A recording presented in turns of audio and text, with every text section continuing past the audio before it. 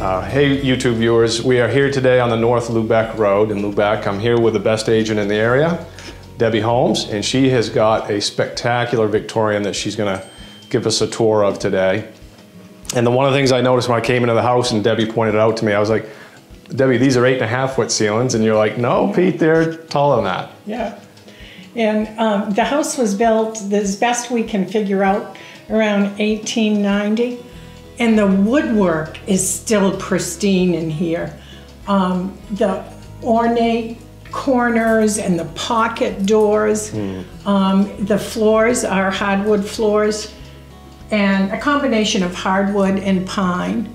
Um, it is a full three stories. The um, current owners finished off what used to be the attic and has made that into an alternate um, master bedroom. Some additional Complete with sleep full space. bath. Yeah. Nice. Yeah. Nice. This, one of the things that really impressed me, you had pointed out the woodwork. These doors all appear to be solid oak doors. Yeah. And even the pocket doors.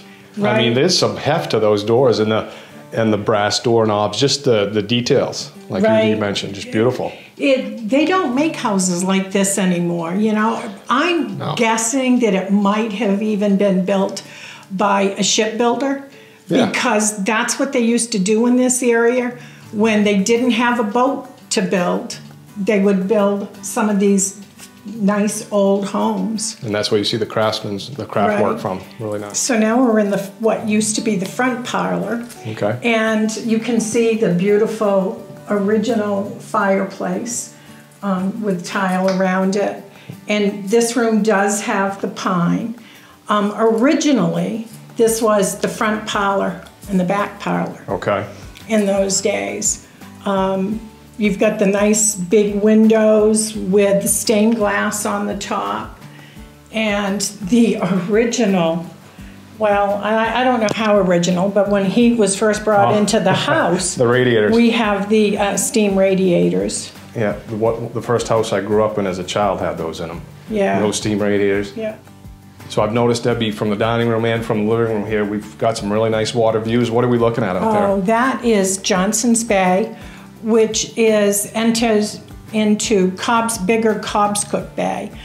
It is very much um, a recreational bay Okay. with kayaking and canoeing, and of course the fishermen. See some lobster boats? Oh, there's lobster boats. Yeah, Nice. yeah.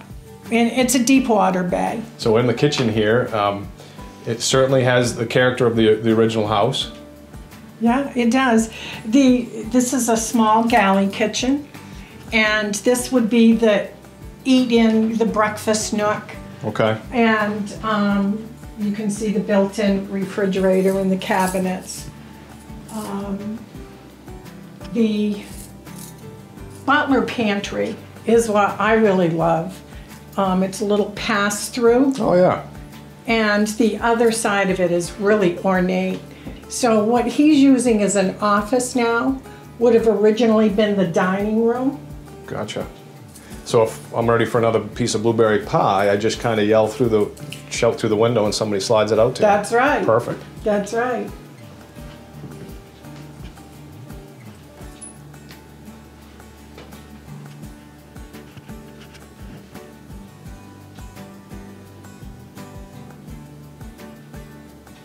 So one of the things that Debbie that intrigues me about these older homes is what's the foundation, what's the structure of the property? Right. You know. The in this particular house, I believe there's granite um, slabs for the foundation, and the um, hot water heater has been upgraded. The electric has been upgraded. There's still the older boiler down there that is sufficient for summer use. Um, if someone was going to live here year round, they might want to look at doing something different there. But the hot water system is more than ample throughout to um, heat this in the winter. So into the foyer here and, and very impressive woodwork here, Debbie. Yeah, and the newel post with all the carving is just beautiful It is beautiful. stunning.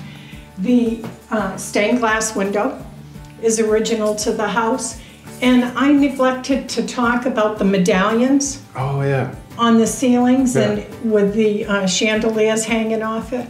And this original door is um, a twin door, and it has the initials etched into the beveled glass of one of the original owners. The hall, I think, is eight feet wide, and there is a powder room underneath the stairs.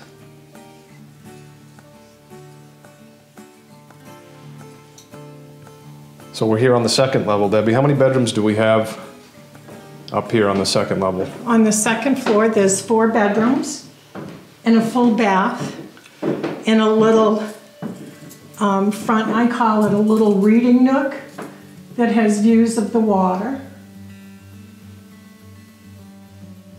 So we're heading into the, what, the front bedroom on the ocean side. Yeah, This is the front bedroom.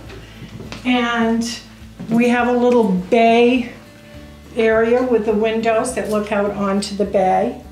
There is a period door Oh, yeah. that is etched. It's, it's a beautiful door with glass in it that leads to the closet. That's a nice touch. Yeah. So the second bedroom here on the, on the driveway side of the house, this is a good sized room. It is. And the mirrored door is beveled. And then you have the bay again with the four windows. And I can actually see the ocean again from here. Yeah. yeah. Nice, very nice.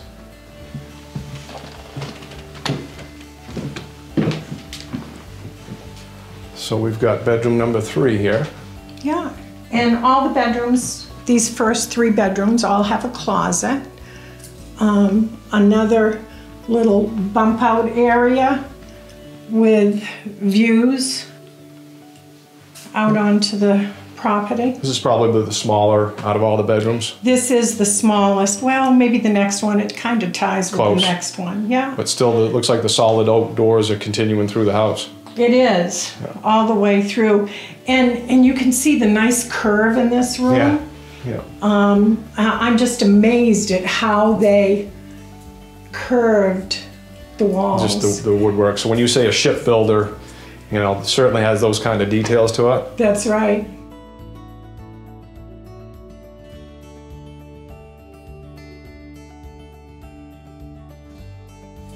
So the fourth bedroom, again, it's on the driveway side. Uh, there's a door there, Debbie. This door goes up to the finished third floor, which the current owners use as an alternate master bedroom. And this does not have a closet. It has a uh, an armoire here for the use. And like most of your older vintage homes like this, there's a second staircase. That's right. They used to call that the maid's stairs. Stairs there. So here we are, made it to the third floor. And this is all finished with um, pine, V-notched pine. There is a full bath.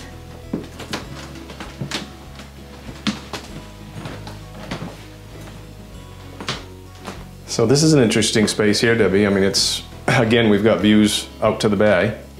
Yes, and these little, I don't know, I call them eye dormers on the sides, give you little vignettes of seating and beautiful area to sit with nice views of the water. Hmm, it is, nice spot.